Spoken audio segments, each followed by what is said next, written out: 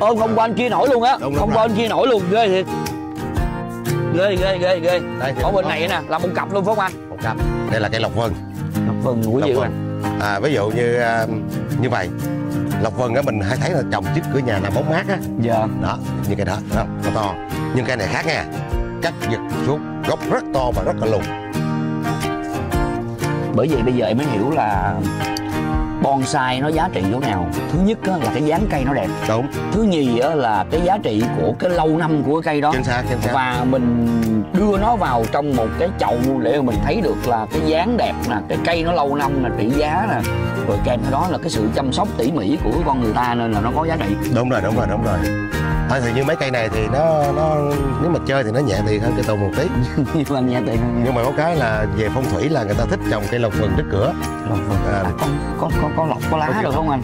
Ông bà ông bà xưa dạy sao mình bắt chước vậy. À, đó thành ra là cái này để trước cửa nhà trước sân á. Thì à, đem lộc về nhà. Hay ha.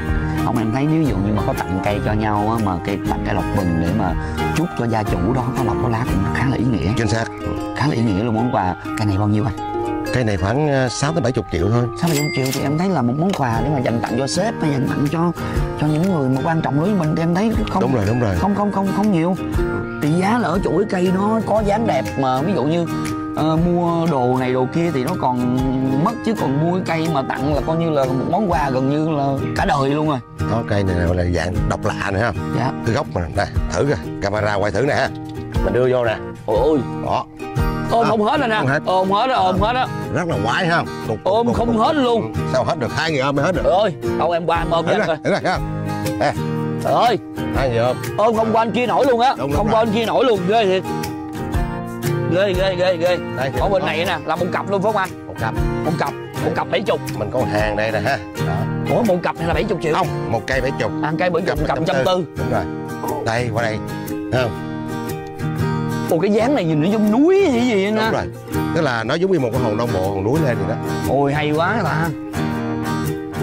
Ôi. Bởi vậy chơi cây kiển mới thấy được rất là nhiều công phu rất là công phu.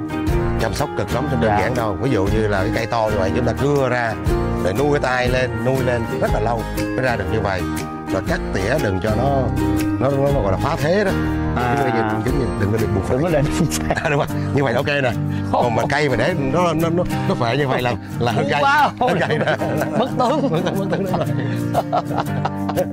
Đây à, chắc qua giới thiệu cho hồng thuận mấy cây à, hồng thuận mấy cây à, dạ. cây tùng mình nhỏ nhỏ thôi